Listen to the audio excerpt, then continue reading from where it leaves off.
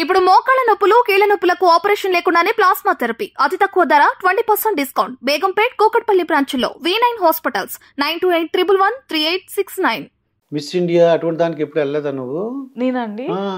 ఆహా, లేదండి. ఎవరు చెప్పలేదు నీకు అసలు ఆ కెపాసిటీ ఆ టాలెంట్ ఉందని?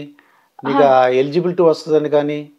లేదండి. నువ్వు అలా ఆ స్టే ఆ- షేప్లో ఉన్నావని అంత అంత అందంగా ఉన్నావని షేపులు గీపులు అని ఎవ్వరు మాట్లాడరండి. ఒకవేళ మాట్లాడితే చంప వగిలి చెప్ చంప వాయిస్ అది. వాట్ ఎవర్ అంటే. లైక్ ఇట్లాంటి షేప్స్ ఏమన్నా మాట్లాడితే చెప్పుతో కానీ చంప చేత్తో కానీ చెంప కొట్టేస్తాను ఫస్ట్ ఆఫ్ ఆల్ నాకు ఇప్పటి వరకు వచ్చిన కమెంట్స్ ఏంటంటే లైక్ అందంగా ఉంటారు మీరు.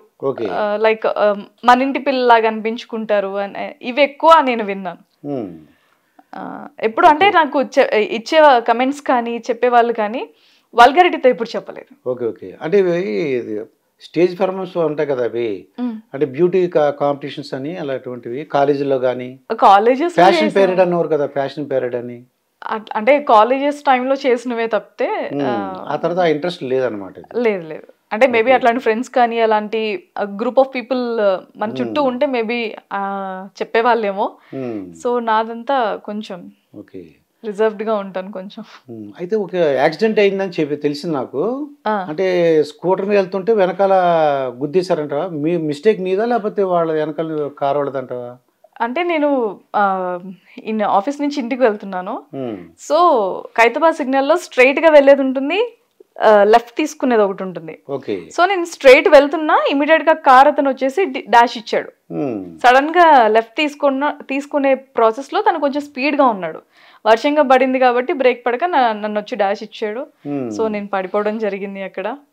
అయితే నేను అడిగేది కాన్షియస్లో ఉన్నావా? లేకపోతే అన్కాన్షియస్ అంటే కాన్షియస్లోనే ఉన్నాను. కాన్షియస్లోనే ఉన్నాను బట్ దెబ్బలు బాగా తగిలినాయి కానీ అప్పుడు పెయిన్ తెలియదు కానీ మొత్తం ఒళ్ళంతా కాస్త తిమ్మిరెక్కిపోయి ఉంటుంది కాబట్టి. మరి హాస్పిటల్కి ఎలా వెళ్ళావు? అక్కడ పోలీస్ వాళ్ళు కానిస్టేబుల్స్ వీళ్ళందరూ వచ్చారు ఇమీడియట్గా అంబులెన్స్ కూడా వచ్చింది. అంటే బిఫోర్ వన్ అవర్ అక్కడ ఇంకొక యాక్సిడెంట్ అయింది సేమ్ స్పాట్లో. ఆఫ్టర్ వన్ అవర్ నాది జరిగింది అనమాట సో నాకంటే ముందు జరిగిన అమ్మాయికి జాక్ ఇరిగిపోయింది యాక్చువల్లీ ఫుల్ హెల్మెట్ పెట్టుకున్నప్పటికీ. సో నెక్స్ట్ వన్ అవర్కి నాకు ఓకే. ఇంకా అక్కడి నుంచి నియర్ బై అపోలో హాస్పిటల్కి తీసుకెళ్ళారు అంబులెన్స్లో ఉమ్, సో నేనేంటంటే ఒక ఫార్టీ టు ఫిఫ్టీ మినిట్స్ నేను అక్కడే కూర్చున్నాను. మా అన్నయ్య వాళ్ళు వస్తే కానీ నేను అక్కడి నుంచి కదలను అని చెప్పేసి. సో మా అన్నయ్య వచ్చేసి గట్కేసర్లో ఉన్నారు ఒక అన్నయ్య బిజీ ఇక ఇద్దరు అన్నలు బిజీగానే ఉంటారు. లాస్ట్ అన్నయ్య వచ్చేసి గట్కేసర్లో ఉన్నారు ఏదో వర్క్ మీద వెళ్ళారు. వాళ్ళు అక్కడి నుంచి వచ్చేసరికి చాలా టైం పట్టుద్ది. నేనేమో పోలీస్ వాళ్ళు చెప్పిన అంబులెన్స్ వాళ్ళు చెప్పిన బ్లీడింగ్ అవుతుందని డాక్టర్ సజెస్ట్ చేసిన కదలలేదు అసలు యాక్చువల్లీ అక్కడి నుంచి. మా బ్రదర్స్ రావాల్సిందే అన్నారు. రావాల్సిందే అని చెప్పి కూర్చున్నాను. మా నాన్నగారిది జాకెట్ ఉంటుంది. ఉమ్, లైక్ అది రెయిన్ కోట్ ప్లస్ షర్టర్ అన్నమాట. ఓకే. ఇక్కడ వరకు వస్తుంది మా నాన్నగారు నాకు. సో కింద పడి అది పాకినట్టుగా అయిపోయింది. అయినప్పుడు అది కాపాడింది. అది కాపాడింది. లేదంటే బాడీకి అంతా ఫుల్ బ్లీడింగ్ అయిపోయేది. ఇంతలా ఉంటుంది. అది కూడా మొత్తం అరిగిపోయింది. ఇదంతా టోటల్గా ఇదంతా బ్లీడింగ్ అవుతుంటే ఒక అతను కాన్షియస్లో ఉన్నావు నువ్వు? కాన్షియస్లోనే ఉన్నా. కాన్షియస్ ఆ డాష్ కుట్టిన అతను ఉన్నాడా? నేను ఆ, అక్కడికి తీసుకెళ్ళి కూర్చోబెట్టిన తర్వాత వాటర్ పెట్టేసి కడిగేస్తున్నాడు. వీడవిడ ఇంత ఓరాక్షన్ చేస్తున్నాడు అని అనుకుంటే తర్వాత తెలిసింది నన్ను గుద్దినోడు అని చెప్పేసి. సో పోలీస్ వాళ్ళు వీళ్ళెవరు రాకముందే బ్లీడింగ్ అదంతా తుడిచేశాడు అనమాట అది. ఓకే. ఇంకా తర్వాత మా అన్నయ్య వాళ్ళ కొడుకు వచ్చాడు హర్ష. సో వాడు వచ్చి అక్కరా అని చెప్పేసి బలవంతంగా ఇంకా తీసుకొని వెళ్ళిపోతే ఇంకా వెళ్ళిన ఒక ఫైవ్ టెన్ మినిట్స్కి మా చిన్నన్నయ్య వచ్చారు. తర్వాత ఇంకా అక్కడి నుంచి బండి అక్కడే ఉండిపోయింది. యాక్సిడెంట్ జరిగిన ప్లేస్లోనే ఉండిపోయింది. ఉమ్, సో అక్కడి నుంచి నాకు పిఎస్ నుంచి కాల్ వచ్చింది ఏంటంటే మేము ట్రీట్మెంట్ అంతా తీసుకొని రిటర్న్ బ్యాక్ వెళ్ళిపోతుంటే పిఎస్ నుంచి ఒక కాల్ వచ్చింది. లైక్ మీ ఎవరైతే యాక్సిడెంట్ జరిగిందో వాళ్ళే వచ్చి సిగ్నేచర్ పెట్టాలి అని చెప్పేసి. సో అప్పుడు మా అన్నయ్య ఉన్నారు కాబట్టి మా అన్నయ్య వాళ్ళకి ఖర్చులకి ఇచ్చారనమాట ఎలా వస్తారు బెడ్ మీద ఉన్న పేషెంట్? మా బ్రదర్ వచ్చాడు మీ దగ్గరికి పట్టించుకోలేదు అది ఇది అని చెప్పి మాట్లాడితే హయ్యర్ అథారిటీస్కి కాల్ చేస్తే తర్వాత సార్ట్ అవుట్ అయిందనమాట ఓకే.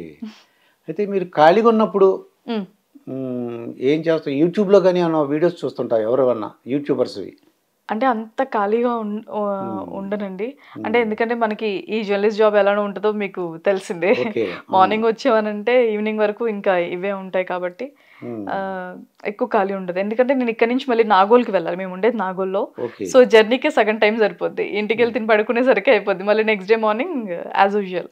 Okay. ఎందుకంటే యూట్యూబ్ ఛానల్ ఉంది కదా మీది? అవునండి అవును. దానికి ఎంతమంది సబ్స్క్రైబర్లు ఉన్నారు? నేను ఒక బోనాల సాంగ్ తీసానండి. తీయక ముందు వరకు సిక్స్టీ థౌసండ్ సబ్స్క్రైబర్స్ ఉన్నారు. ఓకే. లైక్ ఇప్పుడు almost one lakh ten thousand వరకు వచ్చారు. వన్ ల్యాక్ ఈ- సెవెంటీన్ అంత ఉంది? ఎందుకు అడుగుతున్నా అంటే బ్యాంకాక్ పిల్ల అని పేరు బ్యాంకాక్ పిల్ల. విన్నానండి. పూల చొక్కా నవీన్. వీళ్ళందరూ సబ్స్క్రైబర్లు ఎక్కువ మంది ఉన్నారు అనమాట బ్యాంకాక్ పిల్లకైతే అంటే నేను. స్టార్ట్ చేసి అంటే వన్ ఇయర్ బ్యాక్ నేను స్టార్ట్ చేసినప్పటికీ కూడా త్రీ మంత్స్ అవుతుంది. నేను దాంట్లో పోస్ట్ చేయటం స్టార్ట్ చేసి. Okay. Three to four months అవుతుంది అంతే. ఈ బ్యాంకాక్ పిల్లకైతే టూ మిలియన్స్ వచ్చారు. ఉమ్, పూల చొక్కా నవీన్ క్రాంతి బ్లాగర్ అని ఒక అతను ఉమ్, ఇప్పుడు ఇన్ఫర్మేషన్ ఇస్తాడు అనమాట మంచి. మంచి ఇన్ఫర్మేషన్ మొన్న రైలు యాక్సిడెంట్ జరిగింది అనుకో ఎందుకు జరిగింది? ఏంటని చెప్తుంటాడు అనమాట అవి చాలా ఖాళీగా ఉన్నప్పుడు చూడుతుండు వీడియోస్. ఎందుకంటే నువ్వు ఒక ఎంబీసీ అని పెట్టావు. ఎంబీసీ వ్లాగర్ అని. మరి అది బాగా డెవలప్ అవ్వాలంటే వాళ్ళ టెక్నిక్స్ ఏంటో నీకు తెలియాలి.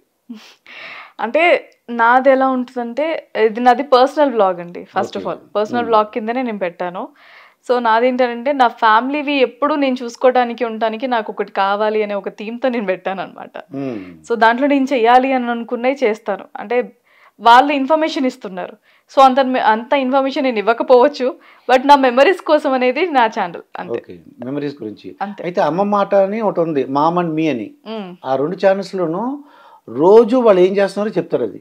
ఆ, ఇప్పుడు మా అమ్మని కూడా నేను ఏదైనా మాట్లాడడం అన్నాను అనుకోండి కెమెరా పెట్టేసి నోరు మూసుకొని కెమెరా ఆఫ్ చేయని అంటది అవన్నీ తిట్లు అవసరం అండి నాకు. అదంటవా?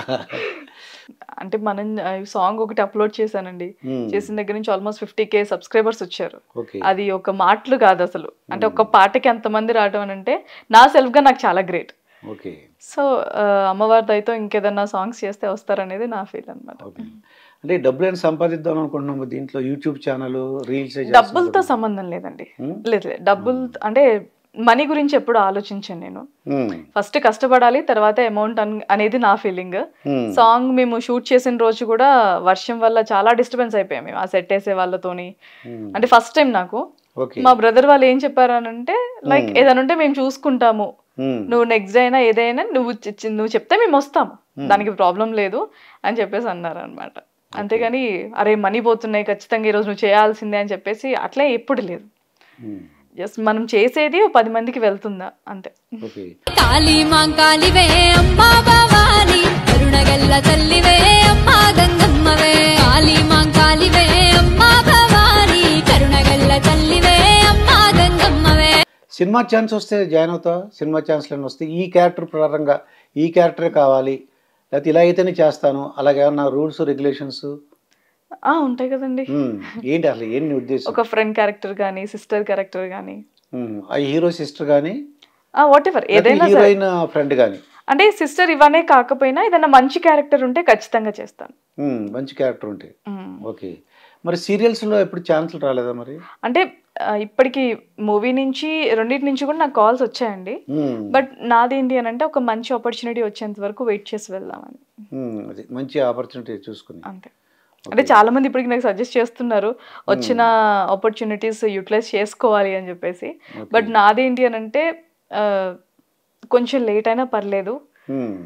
ఆ, మంచి ఛాన్స్ వస్తేనే వెళ్దాము అనేది నా పర్సనల్ ఫీలింగ్ ఉమ్. తర్వాత రాజకీయాలపై అవగాహన ఉందా నీకు? అంటే న్యూస్ రీడర్ ఉన్నావు అంటే అన్నిట్లో అన్ని ఇప్పుడు మరి స్పోర్ట్స్ తర్వాత అది పాలిటిక్స్ మూవీస్ అన్నీ కూడా చదువుతాం మనం. నేను కూడా న్యూస్ రీడరే. నాకు కూడా న్యూస్ చదవడం వచ్చు మ్మ్. నా ప్రతిభను ఇప్పుడు ఏం చూపించలేదు ఎందుకంటే నాకు ఐడియా ఉంది కాబట్టి. మీరు చదివినప్పుడు న్యూస్ ప్రాంప్టర్ అది ప్రాంప్టర్ ఉందా మీకు? ప్రాంప్టర్ ఉంది. న్యూస్ చదివే ప్రతి ఒక్కరికి ప్రామిటర్ ఉంటుంది కదా. అంటే మొదట్లో మాకు పేపర్లు ఇచ్చేవారు. అంటే అది అది ఇప్పుడు సపరేట్. సెషన్ అయిపోయింది. మార్నింగ్ పేపర్ న్యూస్ అని చెప్పేసి separate గా ప్రోగ్రామ్స్ పెట్టి మరి చదువుతున్నారు న్యూస్ పేపర్. అవును. అయితే ఈ రాజకీయాల మీద అవగాహన ఉందా? ఏపీ రాజకీయాలు కానీ తెలంగాణ రాజకీయాల మీద అవగాహన ఉందా ఏమన్నా? అవగాహన అంటే ఖచ్చితంగా ఉండాలి కదండి న్యూస్ ప్రజెంటర్ కదా? మరి ఏపీలో నెక్స్ట్ ఎవరు అనుకుంటున్నారు? మీకు ఏమైనా ఐడియా ఉంది? ఏపీలో నెక్స్ట్ చీఫ్ మినిస్టర్ ఎవరు అనుకుంటున్నారు? అంటే వీఆర్ ప్రజెంటింగ్ సో మనం కన్ఫర్మ్ చేయకూడదు. అంటే నీ నీ పర్సనల్ ఒపీనియన్ పర్సనల్గా అయినప్పటికీ నా ప్రొఫెషన్ ఇది కాబట్టి సో ఆన్ ఎయిర్ నేను ఉన్నాను కాబట్టి I can't tell those okay అయితే అంటే పీపుల్ పల్స్ అని కానీ అటువంటి ఏమైనా చెప్పగలరా? అయితే పవన్ కళ్యాణ్ కొన్ని జనసేన ఉంది. ఏపీలో తిరుగుతున్నాడు ఆయన. ఆ, ఆయన గురించి ఆయన చెప్పగలవా? అంటే ఆయన గురించి చెప్పడం అని అంటే నాకు పర్సనల్గా నాకు కొన్ని తెలిసి నేను చెప్తాను. ఓకే ఈ అంటే పబ్లిసిటీ గురించి అయితే నేను చెప్పను. సో ఆయన నాకు తెలిసిన వాళ్ళకు కూడా కొంతమందికి హెల్ప్ చేశారు. లైక్ వాళ్ళ గేట్ దగ్గరికి వెళ్ళినప్పుడు ఉమ్, వాళ్ళని పిలిపించి అంటే లైక్ హీరోస్ ఎలా ఉంటారంటే కనీసం పట్టించుకోరు. ఒక హెల్ప్ అని వెళ్తే. నాకు తెలిసిన వాళ్ళకి ఆయన పర్సనల్గా ఇంట్లోపలికి పిలిచి అమౌంట్ ఇచ్చిన సిచ్యువేషన్స్ ఉన్నాయి. ఓకే ఓకే ఒక ఆర్ఫనేజ్కి తెలిసిన వాళ్ళే? ఆ, తెలిసేవాళ్ళు? తెలుసు వాళ్ళు. ఓకే అంటే ఎవరో చెప్పిన రోమర్ కాదు. రూమర్ కాదండి. అంటే. నేను ఫస్ట్ ఆఫ్ ఆల్ అట్లాంటి ఎక్కువ నమ్మను. నా కళ్ళతో నేను చూసి నేను కన్ఫర్మ్ చేసుకుంటేనే అంటే అవతల పర్సన్ కూడా కరెక్టా కాదా అనేది నాకు ఫస్ట్ కన్ఫర్మేషన్ ఉంటుంది. సో చాలా మందికి ఇట్లా హెల్ప్ చేయడం నా పర్సనల్గా తెలుసు కాబట్టి చేయాల్సిన అవసరం లేదు. ఆయన ఉన్న మూవీస్కి కానీ ఆయనకి కానీ చేయాల్సిన నీడ్ లేదు. బట్ యాజ్ ఎ హ్యూమన్ బీయింగ్గా ఆయన పర్సనల్ డబ్బులు ఇవ్వడం అనేది గ్రేట్. అంటే ఇప్పుడు మనమైనా సాలరీస్ తీసుకుంటున్నాం ఒక ఛానల్ నుంచి.